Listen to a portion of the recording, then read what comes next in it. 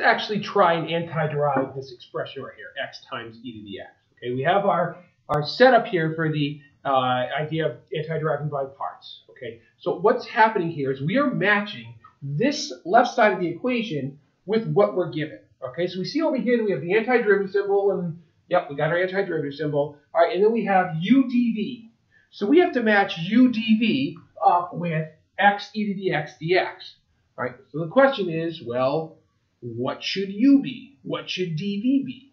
Okay, and overall, you know, the best advice to give is that u um, ultimately is is going to be the its derivative is going to be part of this integral over here, this antiderivative over here. So we want u to be something that um, gets simpler as we derive. Okay, so it, it should when you're selecting u, we want something to, that'll get simpler as it's derived.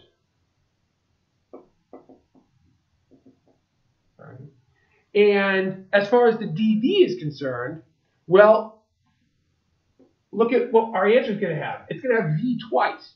So dv is something that can be, it's something that should be able to be anti-derived. All right, so dv should be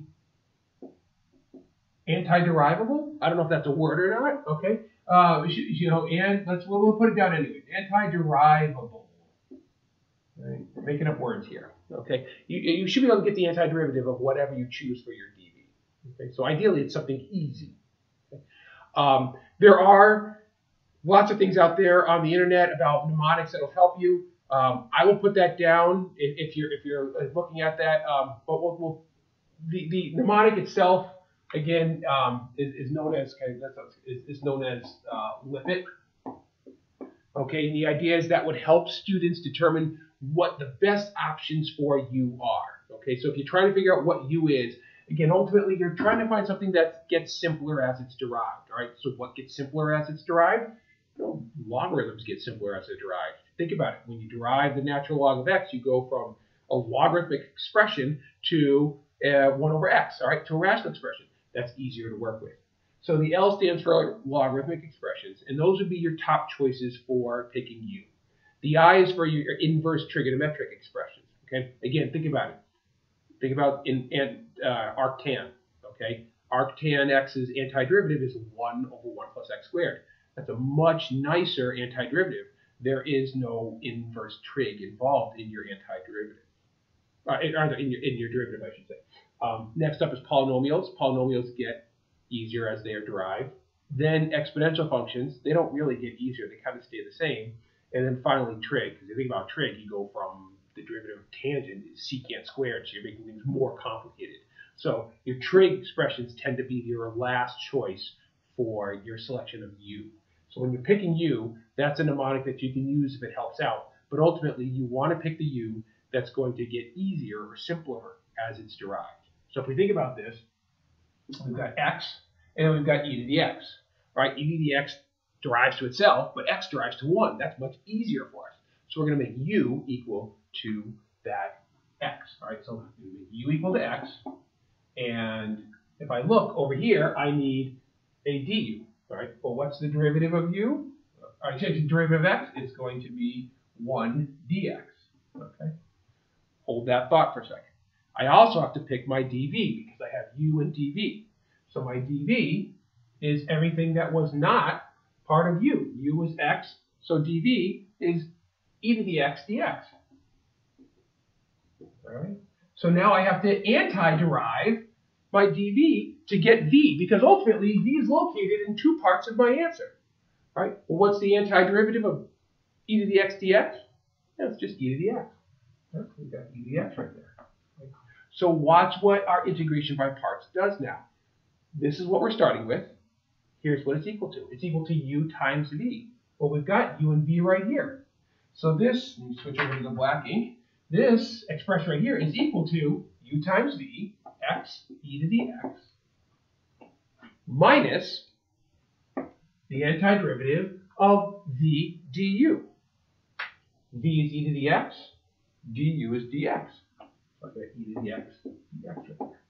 So what have I done? I've taken an antiderivative which is difficult to solve, and I've engineered through the product rule this expression right here.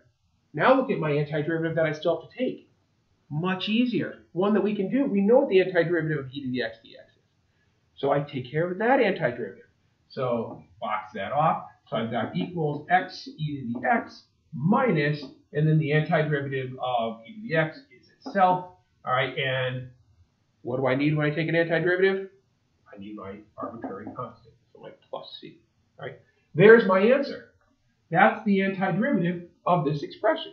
Okay, and again, we can always check our answer by deriving it. Right? So if we actually derive this, I'll go back to a different color now. All right, x e to the x. When I derive that, what rule do I have to use? I'm going to use a product rule. Okay, so derive the first, derivative of x is 1, keep the second, so that's e to the x, plus, now I keep the first, and I derive the second. What's the derivative of e to the x? Yes, e to the x, right? Minus, right? Now I derive this term, and the derivative of e to the x, once again, is e to the x, right? And then the derivative of any constant, yep, 0. I put that in because I want to use some red ink here. And what happens? Look at that. The e to the x's, they eliminate each other, and I'm left with just x e to the x. It checks out. All right. So what we end up having is a very, or usually, a long anti-derivative, uh, a long answer based off of an initially more simpler, more, uh, more simple um, expression. Okay. With parts, we also have to be ready for definite integrals.